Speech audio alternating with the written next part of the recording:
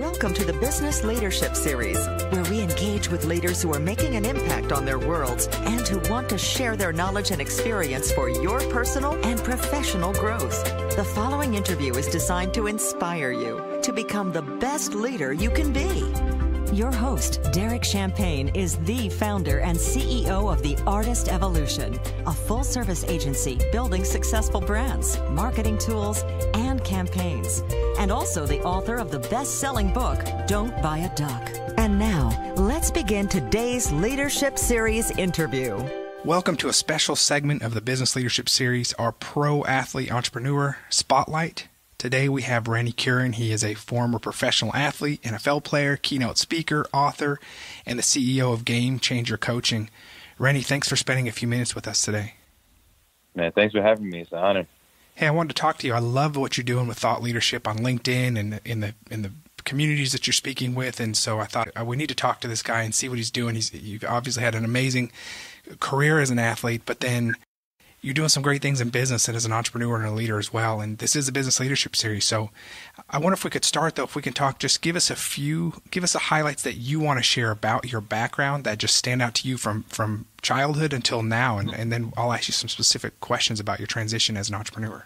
Yeah, definitely. Uh, when I yeah, it's about highlights, man. Uh, so many thoughts run through my head. Uh, there's so many different ways that I could go with it. Uh, a lot of, uh, as I'm sure you're familiar with, lots of challenges, lots of obstacles and adversities that I had to navigate in order to get to where I'm at now. And in mm-hmm. society's eyes, we tend to focus on the finished product and uh, what see, people see at the surface. But when I think about my journey and everything I overcame, I definitely go back to my childhood, both my parents being Liberian immigrants. So you got that story of just the immigrants who come to this country with hopes, with dreams, and aspirations. And uh, I was a product of that. So a lot of my foundation was seeing their hard work, their sacrifice, their selflessness of what they did for my family back home because there was a, civil war that took place in Liberia. And so a lot of my early days were spent seeing them uh, bring a lot of my cousins, uncles, aunties to this country and not just giving them a plane ticket, but also helping them with their immigration papers, helping them start a whole new life. And um, that that was, like I said, my beginnings. And when it came to uh, just my sports career, uh, I actually started off as a musician. I was a knucklehead. I was always in the streets, and my mom tried to do anything she could to keep me out of the streets. So she really started me out with music first. I grew up playing the piano, the drums in church, and played in the orchestra in uh, middle school and high school. Hmm. But once I found football, that was really something that just changed my life because I was the youngest of three. Um, had two older sisters, so I was always in the house with nothing but, but women, which is great. But got bossed around, but um, I needed that outlet, and um, yeah. So once I found football, I found a brotherhood. You know, I found a, a team of guys who, you know, like I said, became like a family, and it taught me so many life lessons and principles and things that I use to this day. And um, one thing it taught me was just that resilience and that mental toughness, and um, just how to be persistent. And mm. I was not the guy who was who showed up and was always a starter. Like I was the guy who um, was considered undersized my whole entire career. So every every team that I played on, from high school to making it to University of Georgia to making it to the NFL, uh, I was the guy who showed up and was second string, third string, bench warmer, and worked my way up and mm. was persistent and the guy who waited on the opportunity. And um, typically, the way that I tell everybody, typically the way that I got my opportunities was that we were down by three touchdowns. The guy ahead of me got hurt. It's always a scenario where I had to wait weeks and weeks and weeks, and I had to be persistent in those weeks and continue working on myself and believing mm. and having faith um, before I ever got that opportunity. And when the opportunity came, I was ready. And so I'm I'm big, very big on just persistence, on the mindset, on you know, uh, performing consistently and having a vision, all those things that really lead to, I feel like, sustainable uh, success. And then I'm also a, a, product of the community as well. I have tons of coaches, uh, teammates, mentors, uh, teachers, pastors that really poured into me and, and helped me um, during the tough times when, you know, my, my dad lost his business and my mom almost died at one point. There's so many people. So I'm very big on serving and on just using your platform and your influence to have an impact on everyone around you. So that's mm. a little bit about my background. Well, thanks for sharing that. And so many things pop out. One is I share a kindred love of music. A former my former career, I was in music for many years, and that was what I did professionally for a long time. And that was my outlet as a child, uh, and and was huge for me and my brother. So thanks for sharing that. Oh. I can relate to that. Uh, you talk yeah. about you know not being the, maybe the first chosen, but being ready. And and we have an internship program right. here, and I see so many young college kids coming through and they just feel the weight of the world on their shoulders and they, they have to have it all figured out and they want the perfect job right. in front of them and, and I always tell them about the zigs and zags I had in my life too and that you need to be ready. I love your I love that story. I mean you were ready for when you were called. You did all the hard work so that when the when the opportunity came up you were the one that was picked. But but you wouldn't yeah. have had that opportunity if you hadn't been doing the hard work and putting that in that commitment to excellence. Yeah, that's it, man. And and I've uh, grown to to coin that phrase is operating at the level of your vision. Hmm. And to, to me, that means long before you ever get to that place where you want to be in life, um, when you think about 10 years down the road, you have to ask yourself what that requires of you. And then you have to think about every single detail of it. Like if I want to be a CEO 10 years from now, if I wanted to be a starter, you know, by the end of that season at, uh, at Georgia as a freshman, I had to ask myself, how do I need to operate and I, at that point, I started operating as if I was a starter at that time, even though I was scout team. You know, so even though the coaches weren't acknowledging me, even though I, I wasn't getting the reps I wanted, even though I wasn't getting on the field, I was still getting in the weight room, getting in the film room, and I would literally stand behind the starters, ten feet behind them, and mimic their every move. And so by the time, like I literally believe that having that approach, the only thing that separates you from getting to where you want to be is time. And uh, so many people allow just their current circumstance to dictate like the level of motivation that they have and the level level of dedication that they have. They'll say things like, "Oh, I'm not getting paid for this," or, you know, this person so and so isn't acknowledging me, or that that person got the promotion and I didn't, and they just get down and they let their environment and whatever culture they're in, you know, dictate how they approach life. And I'm just like, you know, you got to operate at the level of your vision. You have to set allow your vision to set the standard, not the not your environment. Man, in a few minutes, I want to jump in and ask you more about the pro athlete entrepreneur transition. But but first, I have a few other questions. But operating at the level of your vision, it's such great advice. It's it's from a business standpoint, that's everything for us as we try to grow and motivate our team and the things we do. But I follow yeah. your, I follow your content. It's it's great on, on LinkedIn and other platforms. I want to add, I want to touch on a few things, and then we'll jump into the pro athlete yeah. entrepreneur transition side. But you talk about, I always like to ask about setbacks and disappointment and how you deal with it. You talked about a lot of people want to see the finished product, but sometimes uh, I like to pull back a little bit and, and, say, but what happened during some of those moments that got you in that mindset to get there? You talk about in 2011 yeah. being a free agent, unemployed for the first time. I know that's a tough mm. transition, being one of the toughest moments of your life. I've got some for me that seem like real low points too that i share openly on the show and how I got through them. Yeah.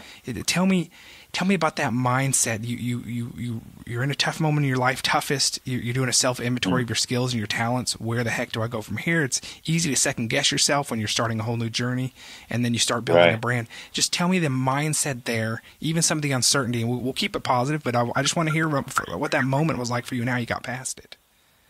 Oh man, uh, the the first thing, and I think this is true for every man. Like I always tell people, if you want to strip a man of like his identity and his confidence and his motivation, take him away from what he does. Mm. You know, strip him away from his ability to do what he does. And I went through that whole entire just mind shift of um, feeling valued or not feeling valued, and having to re-identify like my self worth. Mm. Like, where did my worth come from? Was it from the jersey, or was it, you know, was I enough? Did I have the skill sets? And I think that's one of the toughest hurdles to overcome uh, when you do become jobless or you do lose that business or you do lose a relationship. It's like you literally have to sit down and ask yourself, who am I? Mm. You know, outside, away from these things. And so that was one of the biggest challenges. Once I sat down and I identified, and that's why I had to do that self inventory because so much of my life and the validation I received and the worth I received was from what I did on the field. And that's true for so many people. Their self worth comes from their GPA or it comes from being, you know, having a certain title. And when somebody asks them what they're doing, they, they, you know, excitingly and boastfully say, "Oh, I'm a executive for this or whatever." And when you take that away, man, it's so, it's such a hard mm. thing to deal with uh, psychologically. Just not, you know, somebody asking you that that simple question, "What are you doing?" So, what do you do? and you don't have an answer right. like that alone is a challenge, man. Right. And so um, I had to, like I said, I had to identify my value, and I had to re re uh, I guess um, reclassify what being a free agent was, and, and seeing it as a time that was a benefit and not something that was bad or something that was meant to destroy me. And uh, I also the second thing that really helped me, man, was um, besides faith, of course, was just having compassion. Uh, when I mm. started to sit down and, and evaluate myself and my life, I started thinking about so many other people who would be in that same position. And I thought about how could I reach them? How could I use where I'm at now to add value to them, to encourage them when they get in that position?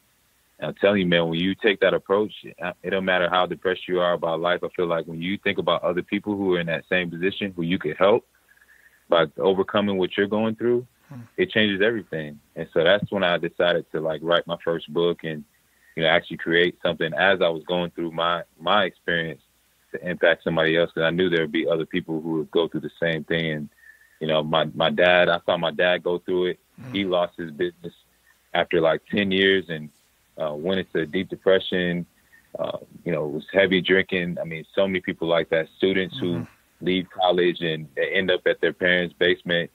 You know, life doesn't go go the way they wanted to, or people who go through retirement and they're just lost. I mean, there's so many situations like that where um, you're like a free agent, and so I decided that I would use that the situation I was in as basically a metaphor for life and uh, use it to impact people.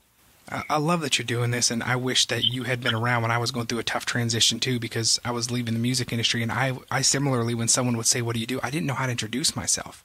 I'd been, right. I, I, I loved my identity, and and mm-hmm. I was sitting mm-hmm. with a group of men last month, and I I had them raise their hands if they were happy from a seven to a ten in their lives, and every one of them that was a seven to ten or higher was because of their job, and those that were unsatisfied was because they weren't happy with their job, and and that just mm-hmm. had me re-exploring what does our identity look like? How do we, how, how can we shift that, or what does it look like in major transitions so that we don't fall into some of the pitfalls you described of of addiction or some of the other things that are easy to go to self medicate, so that we don't have to kind of do the tough work that you did.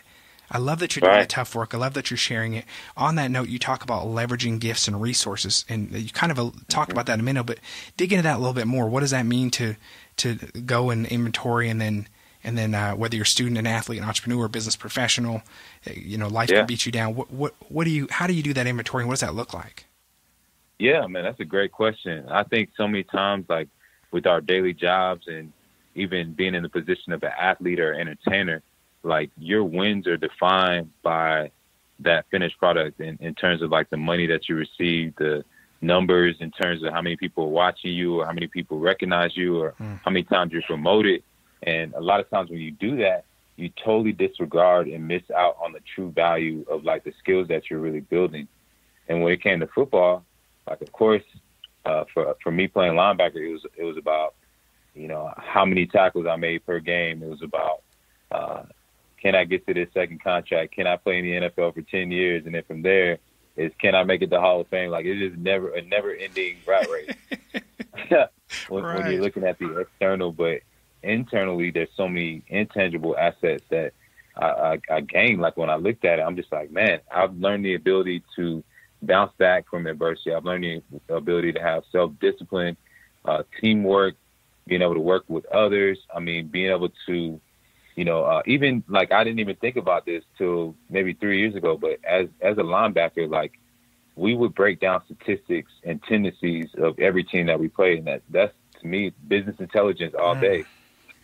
Um, so just thinking about little peeling back the layers and really uh, uncovering your experience and seeing like the true values that you have that can translate to uh, other industries is huge, and so many people don't do that. So they walk away from their job or they walk away from their business feeling like, man, I didn't gain anything. This business failed. When in reality, like you have all these skills and these gifts now, mm-hmm. to where you can have literally five streams of revenue if you just sat down and really mapped it out. So um, yeah, that's... that's something that I did for myself that really made me just flip the script and made me realize that I'm not down. Like I'm actually in an amazing position right now. Right. I, I love that. I love that. That you know, this uh, Jen Grisanti, who has been on our show before, she's she's helped sell sixty pilots. She's done a lot of TV shows, and and uh, she talks. Mm. She wrote a book about being the hero in your own story, and even in the low moments, you're still the active hero. and every story needs right. the hero. And so even in the low parts, you know that there's going to be a resolution if you understand that that's the spot you're in and you're learning and you and you understand your role in all of it. And I, I love that mm-hmm. you've done that and, you, and you've got that operating at the level of your vision, uh, even regardless of what you're doing or what point in, in time you're at. So let's transition for just a minute. A few more questions for you. Uh, let's let's let's talk about the pro athlete entrepreneur side. And you answer some of my questions. I was going to ask you how has your background of being a pro athlete Im- impacted you as an entrepreneur. Uh, if you want to expound on that, great. You did share some things, but I never even thought about the statistics side and the and looking at the from yeah. the line from the linebacker standpoint. But what else? What else has impacted you as an entrepreneur?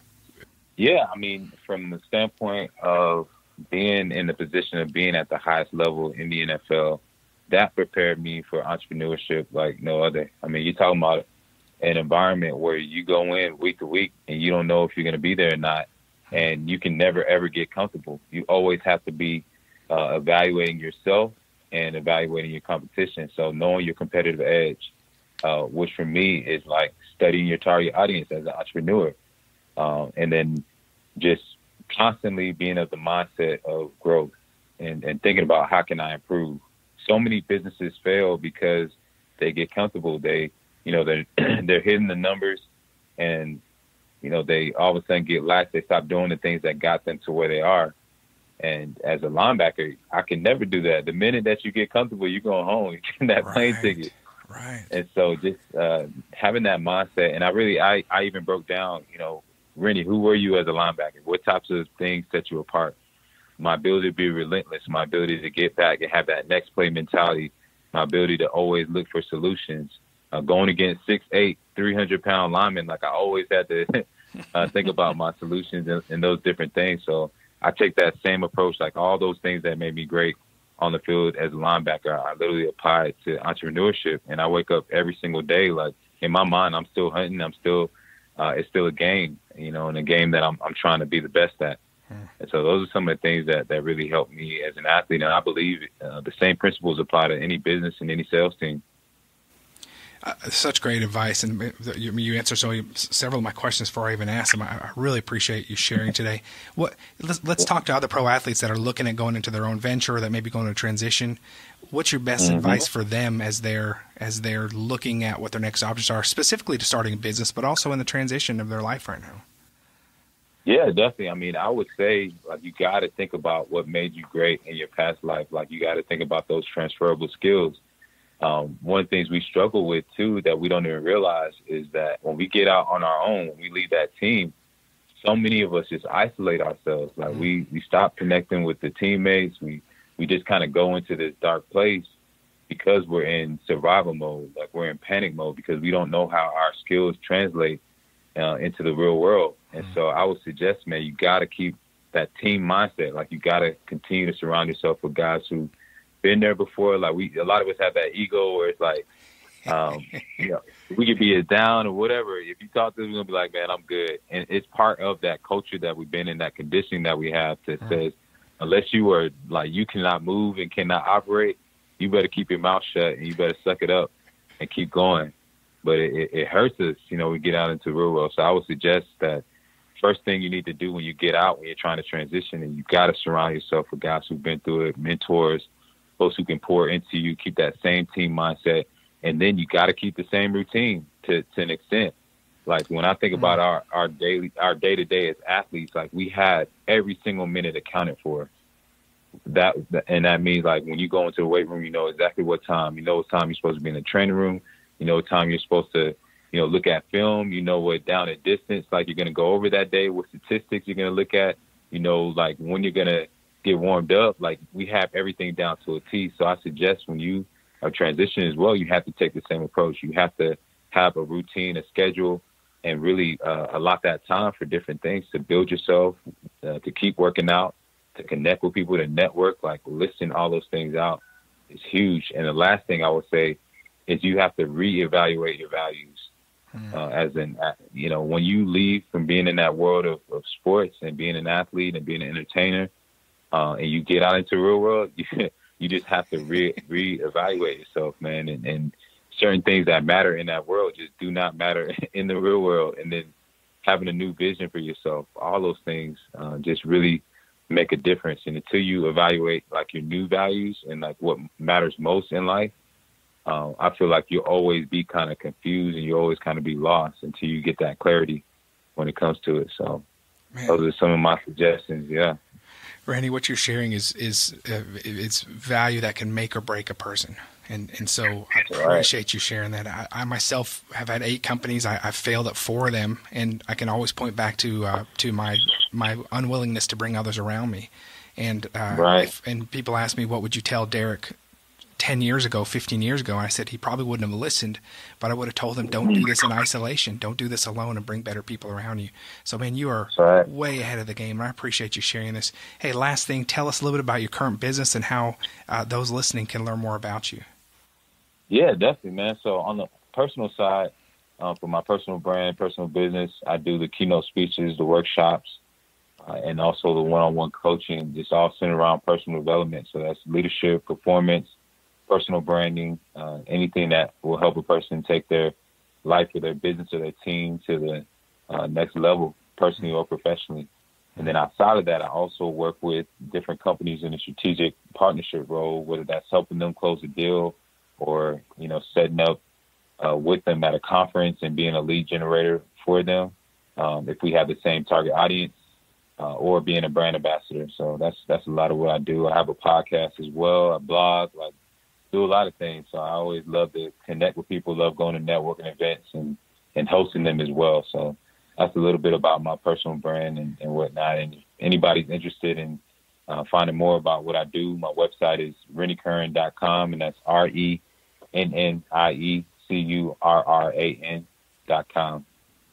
Randy, thank you so much. We will put uh, all of your contact information that's out there, uh, that's public out there on uh, the show notes so that the, that uh, our listeners can go and look at that. Thanks again, man, for being our guest. We appreciate your time and the wisdom you shared, and I look forward to following the next great things that you continue to do. Yes, sir. Thanks so much, Doug. I appreciate you. Thank you. Take care.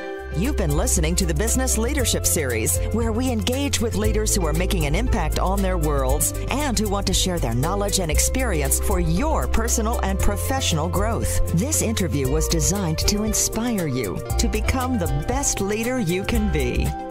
Derek Champagne here. I want to connect with you if you're listening to the Business Leadership Series. We can connect on LinkedIn or send me a message at derek at derekchampagne.com. I look forward to connecting.